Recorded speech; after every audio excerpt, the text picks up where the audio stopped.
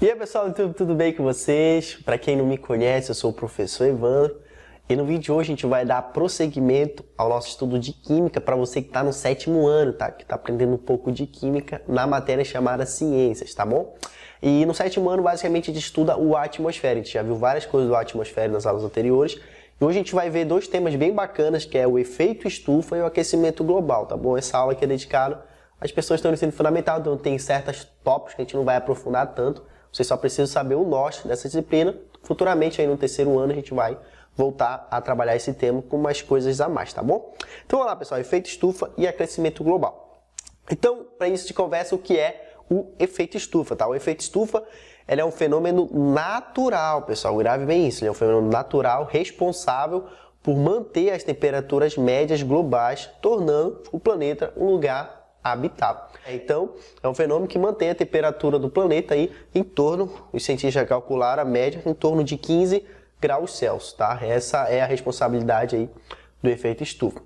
Agora, como, que, como ocorre isso, tá, pessoal? O Sol emite radiações que chegam até a superfície do planeta Terra. A superfície absorve parte dessa radiação e converte e emite o restante na forma de radiação infravermelho. Então, como é que funciona o efeito estufa? O Sol está aqui mandando várias radiações a todo instante para a Terra. Quando essa radiação chega na superfície da Terra, a superfície da Terra aí, através dos oceanos, dos solos, tal, floresta, vai absorver parte dessa radiação. A parte que não é absorvida, ela manda de volta. Aí quando chega nessa cobertura gasosa que nós temos aqui, que é a nossa atmosfera, que a gente já falou para vocês, então a atmosfera que está circundando a Terra aqui, ó, esse círculo aqui nessa imagem, ah, dentro da atmosfera existem alguns gases que absorvem essa radiação infravermelha vinda do Sol e não deixam que ela escape para fora do planeta, tá? Então ele, com isso ele mantém a Terra o que aquecida, tá?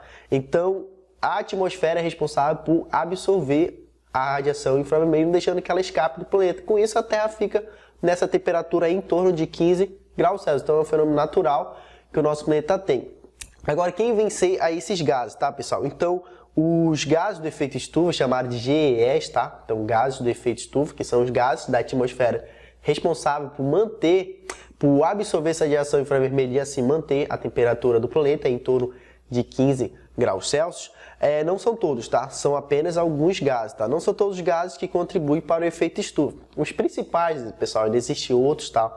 Mas os principais são o vapor de água, que é o H2O, o gás carbônico, que é o principal, também chamado de vilão do efeito estufa, o metano, o CH4, tá? Então, são os principais gases do efeito estufa. A gente tem aqui a fórmula molecular, a estrutura molecular aqui da água, tá? A gente vê aqui temos dois hidrogênio e oxigênio, a gente tem o metano, que é o CH4, e o dióxido de carbono aí que é considerado o vilão do efeito estufa e aquecimento global. Então, não são todos os gases da atmosfera que contribuem para o efeito estufa, só gases que têm capacidade de absorver a radiação infravermelha e manter ela aqui na nossa atmosfera, deixando assim a Terra é, numa temperatura aí aproximadamente de 15 graus Celsius, tá bom?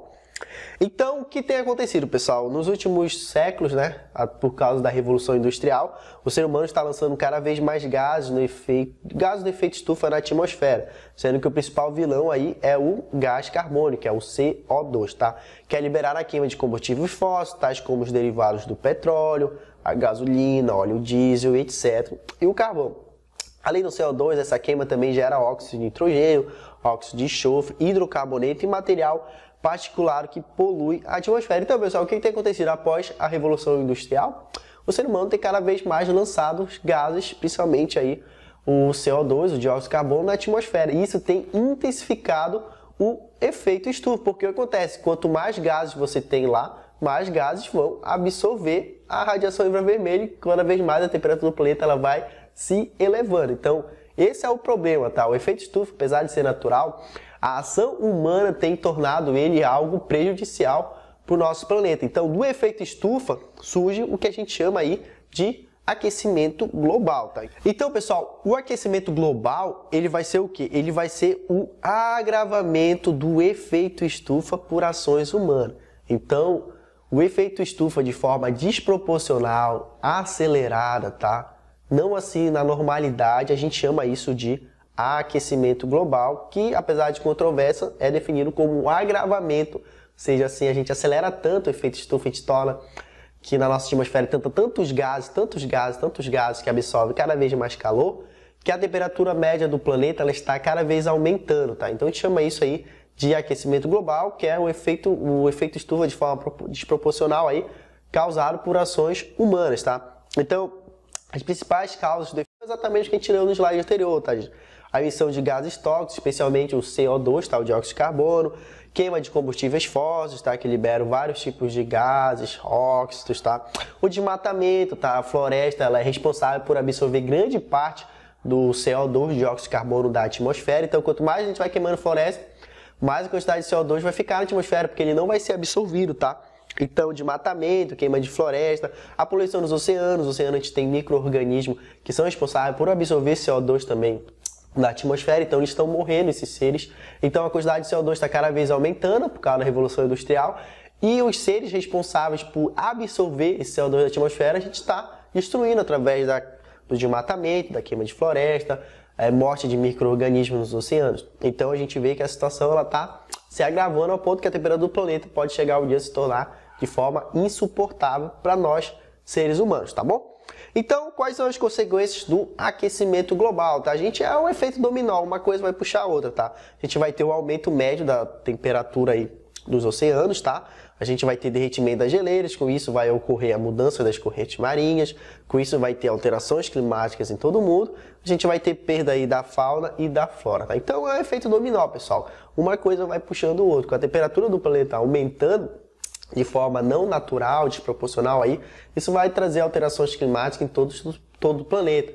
Em alguns lugares a gente vai ter cidades litorâneas vão desaparecer porque as geleiras estão derretendo e a, a água vai cada vez aumentar o seu nível, entendeu? Vai ter lugares que vai ter uma seca mais intensa, então vai ser uma coisa prejudicial atrás da outra. Então é necessário que a gente sim preserve, tá?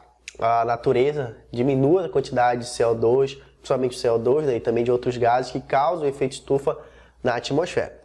Tá bom, pessoal? Então esse é o vídeo de hoje. Se você gostou, não se esqueça de se inscrever no canal. Na próxima aula a gente vai fazer exercícios sobre esse assunto, que eu, como eu faço aqui no canal, a melhor forma de você aprender é exercitando, tá, pessoal?